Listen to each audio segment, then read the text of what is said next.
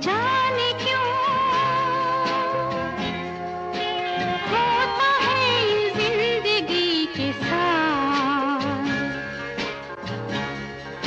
अचानक ये मन किसी के जाने के बाद करे फिर उसकी याद छोटी छोटी